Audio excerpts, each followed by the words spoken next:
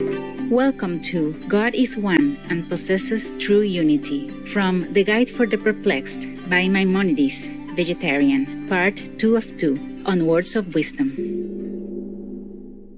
Maimonides, also known as Ha Rambam or Rabbi Moses ben Maimon, was a notable medieval Jewish philosopher, astronomer, physician, and intellectual figure.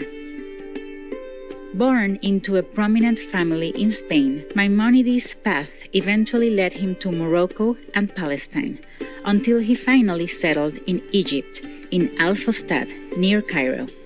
Shortly after moving to Egypt, life changing events prompted him to start his practice as a physician. It was not long before Maimonides became renowned in the area and became the personal physician to the Sultan Saladin, a famous Muslim military leader. He also tended to other patients, lectured before fellow physicians, and became a leader of the Jewish community, teaching and helping its members. Famous works by Maimonides include Mishneh Torah, a commentary on the Talmud, and The Guide for the Perplexed, philosophical discussions regarding theological matters. A revered pillar of the Jewish world, Rabbi Moses ben Maimon also had a significant influence on some great medieval writers and thinkers, such as Baruch Spinoza and Gottfried Wilhelm Leibniz, and made an important impact on the medical science archives. Today, we will continue with excerpts from Part 1, Chapter 53, in Rabbi Moses ben Maimon's book, The Guide for the Perplexed, where the rabbi details how we can know more in depth about God. Chapter 53 The circumstance which caused men to believe in the existence of divine attributes is similar to that which caused others to believe in the corporeality of God.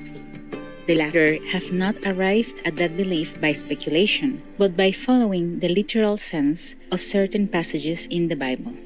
The same is the case with the attributes. When in the books of the prophets and of the law, God is described by attributes, such passages are taken in their literal sense, and it is then believed that God possesses attributes, as if he were to be exalted above corporeality and not above things connected with corporeality, i.e., the accidents, I mean psychical dispositions, all of which are qualities, unconnected with corporeality. Every attribute which the followers of this doctrine assume to be essential to the Creator, you will find to express, although they do not distinctly say so, a quality similar to those which they are accustomed to notice in the bodies of all living beings. We apply to all such passages the principle, the Torah speaketh in the language of man, and say that the object of all these terms is to describe God as the most perfect being, not possessing those qualities which are only perfections in relation to created living beings. Many of the attributes express different acts of God, but that difference does not necessitate any difference as regards Him from whom the acts proceed. This fact, namely, that from one agency different effects may result, although that agency has not free will, and much more so if it has free will, I will illustrate by an instance taken from our own sphere. Fire melts certain things and makes others hard. It boils and burns. It bleaches and blackens. If we describe the fire as bleaching, blackening, burning, boiling, hardening, and melting, we should be correct. And yet, he who does not know the nature of fire would think that it included six different elements one by which it blackens, another by which it bleaches, a third by which it boils, a fourth by which it consumes, a fifth by which it melts, a sixth by which it hardens things, actions which are opposed to one another and of which each has its peculiar property. He, however, who knows the nature of fire, will know that by virtue of one quality in action, namely by heat, it produces all these effects. If this is the case with that which is done by nature, how much more is it the case with regard to beings that act by free will, and still more with regard to God, who is above all description?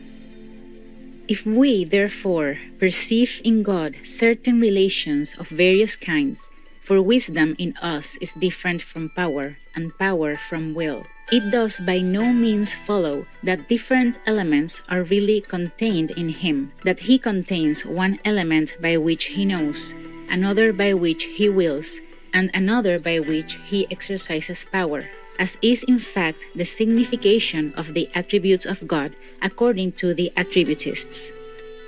The attributes found in Holy Scripture are either qualifications of his actions without any reference to his essence, or indicate absolute perfection, but do not imply that the essence of God is a compound of various elements. For in not admitting the term compound, they do not reject the idea of a compound when they admit a substance with attributes. There still remains one difficulty which led them to that error, and which I am now going to mention.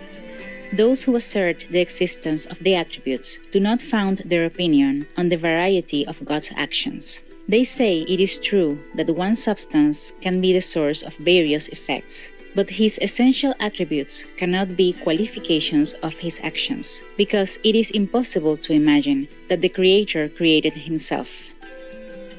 They vary with regard to the so called essential attributes, I mean as regards their number, according to the text of the Scripture which each of them follows. I will enumerate those on which all agree, and the knowledge of which they believe that they have derived from reasoning, not from some words of the prophets, namely the following four life, power, wisdom, and will. They believe that these are four different things, and such perfections as cannot possibly be absent from the Creator, and that these cannot be qualifications of His actions. This is their opinion. But you must know that wisdom and life in reference to God are not different from each other. For in every being that is conscious of itself, life and wisdom are the same thing. That is to say, if by wisdom we understand the consciousness of self. Besides, the subject and the object of that consciousness are undoubtedly identical as regards God. For according to our opinion, he is not composed of an element that apprehends and another that does not apprehend. He is not like man, who is a combination of a conscious soul and an unconscious body. Therefore, we, who truly believe in the unity of God, declare that as we do not believe that some element is included in his essence by which he created the heavens, another by which he created the four elements, a third by which he created the ideals, in the same way we reject the idea that his essence contains an element by which he has power, another element by which he has will, and a third by which he has a knowledge of his creatures. On the contrary, he is a simple essence, without any additional element whatever. He created the universe and knows it, but not by any extraneous force. There is no difference whether these various attributes refer to his actions or to relations between him and his works. In fact, these relations, as we have also shown, exist only in the thoughts of men. Elated viewers, we are delighted that you have joined us for today's Words of Wisdom.